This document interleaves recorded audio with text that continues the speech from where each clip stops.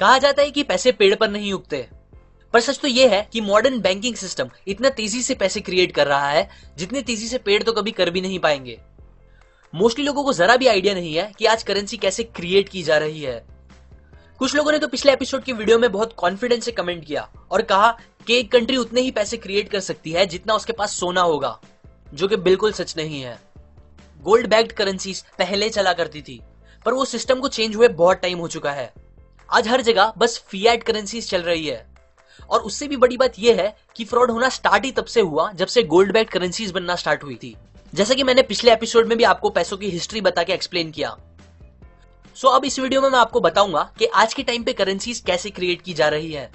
और उसके साथ ही मैं बताऊँगा आपको ह्यूमन हिस्ट्री के सबसे बड़े फ्रॉड के बारे में, जो हम सबके साथ किया जा रहा है। बस कुछ कंट्रीज़ को छोड़ के आज दुनिया की हर कंट्री में करेंसीज ऑलमोस्ट सेम तरीके से बनाई जा रही है। लेकिन क्योंकि वर्ल्ड की मैक्सिमम करेंसी डॉलर है, इसीलिए मैं आपको अमेरिका का एग्ज़ाम्पल देके ये स्कैम समझाऊँगा।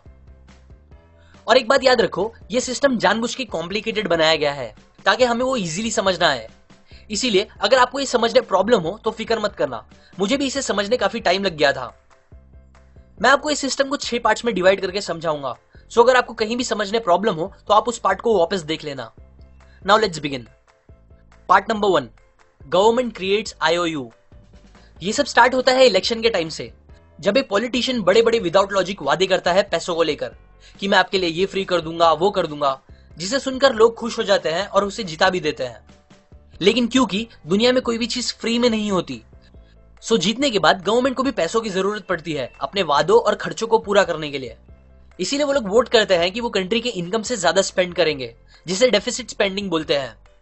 और फिर ये एक्स्ट्रा खर्चे करने के लिए कंट्री की जो ट्रेजरी होती है वो उधार लेती है बैंक से एक बॉन्ड इश्यू करके। अब ये बॉन्ड क्या होता है? बॉन्ड और कुछ नहीं, बस एक ग्लोरीफाइड आईओयू होता है। मतलब सिंपल वर्ड्स में बोलू तो वो बस एक पेपर होता है, जिसपे लिखा होता है कि आप मुझे एक अरब डॉलर उधार दो और मैं आपको ये पैसे दस साल में लौटा दूँगा, वो भी इंटरेस्ट के साथ। और ये बॉन्ड ही होते हैं हमारे देश के कर्जे, जिसे नेशनल डेब्ट बोलते हैं। सो अब आता है एक इंटरेस्टिंग सवाल। ये उधार आखिर कौन चुकाता है? इसका आंसर है हम सब। ये उधार हमारे पेरेंट्स हम और हमारे आने वाली पीढ़ी चुकाएगी इस नेशनल डेप्थ को टैक्स भर के। जब गवर्नमेंट बॉन्ड्स बनाती है तो आप ये बोल सकते हो कि वो हमारे आज को थोड़ा सा अच्छा करने के लिए हमारे फ्यूचर को खराब कर रही होती है।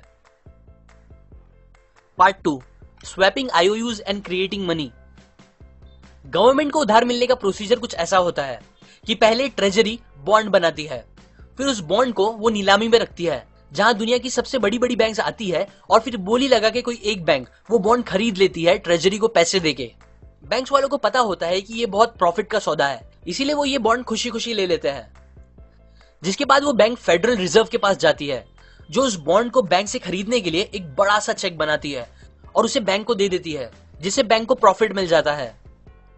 यहाँ अगेन ये चेक्स और कुछ नहीं, बस आईओयू होते हैं। अब एक और इंपॉर्टेंट बात जो ध्यान देने वाली है, वो ये है कि एक्चुअल में फेडरल रिज़र्व के पास कोई पैसे नहीं होते। इनफैक्ट उनके अकाउंट में हमेशा ज़ीरो बैलेंस होता है। लेकिन जब वो चेक बनाते हैं, तब पैसे भी अपने आप बन जाते हैं और सिस्टम में आ जाते हैं। मतलब जब फेडरल रिज़र्व चेक लिखती है तो वो बस लिख के पैसे को क्रिएट कर देती है, किसी मैजिक ट्रिक की तरह। जिसके बाद वो चेक बैंक को मिलता है और फिर वो पैसे भी प्रिंट होके बैंक के पास आ जाते हैं। अब बैंक ये पैसे लेकर फिर दूसरे नए बॉन्ड्स खरीदती है गवर्नमेंट से। और ये साइकिल रिपीट होता जाता है बार बार यहाँ एक्चुअल में ट्रेजरी और फेडरल रिज़र्व एक दूसरे से डील करते रहते हैं बैंक्स को मिडलमैन बना के, जिसे हर स्टेप पे कमीशन मिलता रहता है, जिससे वो तो अमीर होते जाते हैं, लेकिन दूसरी तरफ़ देश और नॉर्मल इंसान गरीब होता जाता है नेशनल डेप्थ की वजह से। एक और बात, यही वो प्रोसेस है जहाँ से सारी पेपर करेंसीज बन के मार्केट में आती है। गवर्नमेंट इसे बेस मनी बोलती है, पर एक्चुअल में वो बस करेंसीज है। जैसे कि मैंने पिछले एपिसोड में भी बताया है कि करेंसी और मनी में बहुत डिफरेंस होता है। Part three government spends this numbers bank से पैसे मिलने के बाद ट्रेजरी वो पैसे गवर्नमेंट को देती है, जो उसे डेफिसिट स्पेंडिंग पे खर्च करते हैं, जैसे कि पब्लिक वर्क प्रोग्राम्स और वॉर्स के लिए। जहाँ से फिर वो पैसे जाते हैं गवर्नमेंट एम्प्लॉयज़ कॉन्ट्रैक्टर और सोल्जर्स के पास, जो अपने वो पैसे फिर अगेन किसी बैंक में डिपॉजिट करा देते हैं। अब एक और इंपॉर्टेंट बात जिसे सुन के शायद आपको शौक लगे, जब आप बैंक में पैसे डालते हो, तब आप बैंक को वो पैसे एकदम सेफ़ रखने के लिए नहीं देते हो, बल्कि एक्चुअल में आप उन्हें वो पैसे उधार देते हो, जिसे लीगली वो उस पैसों से बहुत सी चीज़ें कर सकती है। जैसे कि उसे स्टॉक्स में गैम्बल कर सकती है, या किसी दूसरे इंसान को उधार दे सकती है, जिन पे उन्हें प्रॉफिट भी मिलेगा etcetera part four banks multiply the money ये एक बहुत इंपॉर्टेंट पार्ट है, इसीलिए इसे जरा गौर से समझना। आज ऑलमोस्ट सारे बैंक्स फ्रैक्शनल रिज़र्व बैंकिंग के प्रिंसिपल पे काम करते हैं। मतलब अगर मैं 10 परसेंट रिज़र्व रेशियो के एग्ज़ाम्पल से समझाऊ तो जब आप अपने 100 डॉलर बैंक में डालते हो, तब बैंक लीगली उसमें से 10 परसेंट के हिसाब से अपने पास बस 10 डॉलर तक जमा रख सकती है और बाकी बचे 90 डॉलर वो दूसरे किसी भी इंसान को लोन पे उधार दे सकती है, बिना आपको बताए। यहाँ बैंक बस अपने पास 10 डॉलर रखता है कि कहीं इनकेस आपको उसकी ज़रूरत पड़े तो वो आपको दे दे। जिन पैसों को वो लोग वर्ल्ड कैश बोलते हैं अच्छा अब अगर आपके 90 डॉलर बैंक गायब कर देती है तो फिर आपको कैसे बराबर सौ डॉलर आपके अकाउंट में दिखते रहते हैं? ऐसा होता है क्योंकि बैंक उस 90 डॉलर का आईओयू बना के अपने पास रख देती है। जिसे फिर से इजी वर्ड्स में बोलू तो वो और कुछ नहीं, बस नंबर्स होते हैं, जो बैंक अपने कंप्यूटर में टाइप करके सेव रखती है। और भले से ये एक्चुअल में पेपर करेंसी नहीं होती, पर फिर भी ये एक तरह से करेंसी ही बन जाती है, जिसकी वजह से अब दुनिया में 100 के बजाय 190 डॉलर आ जाते हैं एग्जिस्टेंस में। 100 आपके और 90 जो उन्होंने किसी दूसरे इंसान को उधार दे दिया है। जो थे तो आपके ही पैसे लेकिन अब बैंक के भी हो गए हैं। ये करके बैंक बैठे बैठे 90 डॉलर का फ़ायदा कर लेती है और उस पर जो इंटरेस्ट मिलेगा वो अलग। और इतना ही नहीं आगे और भी बहुत कुछ होता है। जैसे कि अब लोन लेने वाला इंसान लोन लेने के बाद क्या करता है? वो यूजुअली घर गाड़ी या ऐसा कुछ चीज़ें खरीदता है राइट सो so, इस एग्ज़ाम्पल के हिसाब से बताओ तो अब वो 90 डॉलर किसी दूसरे इंसान के पास आ जाते हैं। जो वापस क्या करता है? उसे किसी बैंक में जमा कराता है। जिन पैसों में से फिर बैंक 10 परसेंट बस अपने पास रखती है और 90 परसेंट दूसरों को उधार दे देती है, जिसकी वजह से अब टोटल 270 डॉलर क्रिएट हो जाते हैं। और ये चीज़ रिपीट होती जाती है, जिसका एंड रिज़ल्ट ये होता है कि आपके उस 100 डॉलर के डिपॉजिट की वजह से टोटल हज़ार डॉलर तक का बैंक क्रेडिट दुनिया में आ जाता है। और ये मैं आपको बस 10 परसेंट के हिसाब से बता रहा हूँ, जबकि हर बैंक का अलग रेशियो होता है। कुछ पाँच परसेंट और कुछ तो ज़ीरो परसेंट रिज़र्व रेशियो पे काम करके और भी बहुत ज़्यादा करेंसीज पैदा करती जाती है।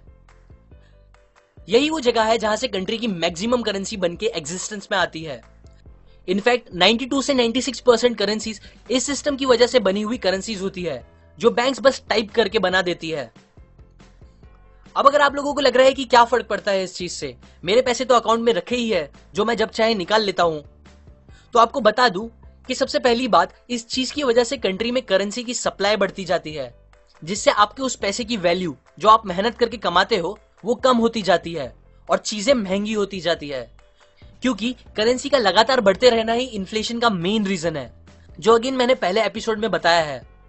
और एक और बात, हमें लगता है बैंक में हमारे पैसे सेफ़ है, जिसे हम जब चाहे जाके निकाल सकते हैं और उसे यूज़ कर सकते हैं। बट ये एकदम सच नहीं है। अगर हम सब जन, या बस 20 से 30 परसेंट लोग भी एक साथ पैसे निकालने जाएँगे तो बैंक हमें हमारे पूरे पैसे वापस नहीं कर पाएगा। क्योंकि उनके पास हमारे सारे पैसे रखे ही नहीं होते फ्रैक्शनल रिज़र्व के सिस्टम की वजह से। यही है हमारा पूरा मॉनिटरी सिस्टम जो और कुछ नहीं, बस एक बड़ा सा स्कैम है, जहाँ पैसे बस चेक पे लिख के बना दिए जाते हैं आईओयू के मीडियम से, या फिर मैक्सिमम तो बस कंप्यूटर पे टाइप करके। सिस्टम जो और कुछ नहीं, बस सप्लाई ऑफ़ नंबर्स है। कुछ प्रिंट किए गए और ज़्यादातर बस टाइप किए गए। Step five or numbers or text अब अगर आपको लगता है कि यही सबसे खराब चीज़ें है जो हमारे साथ हो रही है तो फिर आप और स्टूपिड बनने के लिए तैयार हो जाओ। क्योंकि हम उनमें से कुछ नंबर्स के लिए काम करते हैं दिन रात एक करके, खून पसीना बहा के। हम ही है जो एक्चुअल में उन नंबर्स को वैल्यूबल बना देते हैं। फिर उन्हें जमा करते हैं मेहनत से, ताकि गवर्नमेंट उसका एक बड़ा सा हिस्सा लेके अपने उधार उतार सके इंटरेस्ट के साथ, जो उन्होंने बैंक से लिए होते हैं। क्योंकि हमारे ज़्यादातर टैक्सेस स्कूल रोड या डेवलपमेंट के लिए यूज़ नहीं होते, बल्कि वो उन उधार को खत्म करने के लिए यूज़ किए जाते हैं। आप ही सोचो, हम सारे लोग अपनी पूरी लाइफ टाइम में कितने अलग अलग टैक्स भरते हैं, जिनमें से मोस्टली सारे पैसे उनके पास चले जाते हैं, जो इस सिस्टम के मालिक है। और ये भी एक बड़ा सीक्रेट है कि इस सिस्टम के मालिक कौन लोग हैं, जो मैं आपको आगे बताऊँगा। यूएसए के जो फाउंडिंग फादर्स थे, उनको सेंट्रल बैंकिंग और फिएट करेंसी से होने वाले खतरे के बारे में अच्छे से पता था। इसीलिए वो लोग ने इससे लड़ाई की और फ्यूचर में दूसरों को इस खतरे से बचाने के लिए उन्होंने कॉन्स्टिट्यूशन में लिख भी दिया कि बस गोल्ड और सिल्वर ही रियल मनी बन सकते हैं। बस इसीलिए क्योंकि लोग उन्हें जितना चाहे उतना छाप नहीं सकते। पर टाइम के साथ किसी ने भी इस बात पर ध्यान नहीं रखा और हम सब वापस इस सिस्टम में फंस गए हैं। आज का सिस्टम बस अनकॉन्स्टिट्यूशनल ही नहीं, बल्कि एक बड़ी चोरी है। जो हमसे हमारी प्रोस्पेरिटी और लिबर्टी चुरा रही है। हमारी परचेसिंग पावर कम करती जा रही है इन्फ्लेशन की वजह से। जो और कुछ नहीं, बस इस सिस्टम का रिज़ल्ट है। Part six owners of federal system ये सिस्टम उनके लिए ही फ़ायदेमंद है, जो ये करेंसीज क्रिएट कर रहा है। और जिनके हाथ में सबसे पहले करेंसीज आती है। क्योंकि वो सबसे पहले उस करेंसीज को यूज़ कर सकते हैं। इकोनॉमी पे उसका इफ़ेक्ट पड़ने से पहले। सो अब आता है एक और सीक्रेट फेडरल रिज़र्व एक्चुअल में फेडरल नहीं है। मतलब वो गवर्नमेंट कंट्रोल नहीं है, बल्कि वो तो एक प्राइवेट कॉरपोरेशन है, जिनमें स्टॉक होल्डर्स है, जो उसे ओन करते हैं, और जिन्हें सिक्स परसेंट का डिविडेंड हमेशा मिलता रहता है। बट ये ओनर्स एग्जैक्टली कौन है? ये एक बहुत क्लोज सीक्रेट रखा गया है। पर ऑथर कहते हैं कि वो ओनर्स उन बड़े बैंक्स वाले लोगों में से ही है, जिन्हें इस सिस्टम के हर स्टेप पे प्रॉफिट होता रहता है। क्योंकि ये सिस्टम इतना कॉम्प्लेक्स है, इसीलिए अब हम इसे शॉर्ट में वापस रिकैप करेंगे। सबसे पहले पार्ट वन में गवर्नमेंट बॉन्ड क्रिएट करती है उधार लेने के लिए। हम नॉर्मल लोगों को दाव पे लगा के, जो इस डेप्थ को काम करके टैक्स भर के खत्म करेंगे फ्यूचर में। पार्ट टू बैंक्स इन बॉन्ड को ट्रेजरी से खरीद कर फेडरल रिज़र्व को बेच देती है प्रॉफिट के साथ, जो कि प्रोबेबली वो लोग खुद ही ओन करते हैं।